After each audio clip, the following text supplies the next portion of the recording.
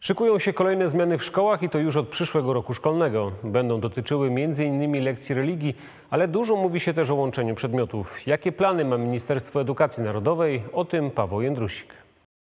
Od kilku tygodni przewija się temat połączenia biologii, chemii, geografii czy nawet fizyki w jeden przedmiot. Choć decyzje w tej sprawie jeszcze nie zapadły, to taki pomysł budzi emocje. Moim zdaniem raczej źle, bo myślę, że będzie mniej czasu, żeby tych przedmiotów się uczyć właśnie. Trudniej będzie to też z nauczycielami.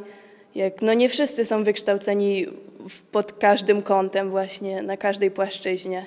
Podobnego zdania jest wielu nauczycieli, którzy obawiają się, że z tego powodu spadnie jakość nauczania. Nie jestem do końca zwolennikiem tych y, zmian. Y, wydaje mi się, że mm, tutaj na ten moment y, przedmioty ścisłe, szczególnie w klasie siódmej, ósmej, nauczane są przez specjalistów, przez nauczycieli, którzy kończyli studia w tym zakresie, są lepiej przygotowani po prostu do nauczania tych przedmiotów.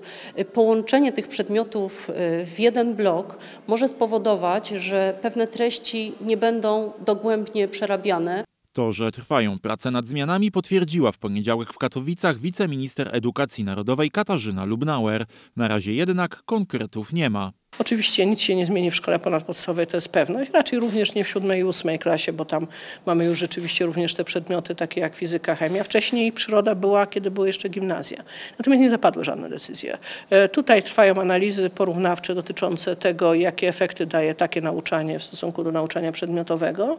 Wiadomo natomiast, że od przyszłego roku szkolnego zajdą zmiany dotyczące religii. W szkołach będzie jej tylko jedna lekcja tygodniowo i w planie lekcji ma zostać umieszczona albo przed, albo po innych przedmiotach. Ministerstwo tłumaczy, że to po to, aby uczniowie, którzy nie chodzą na religię, nie musieli czekać na inne lekcje.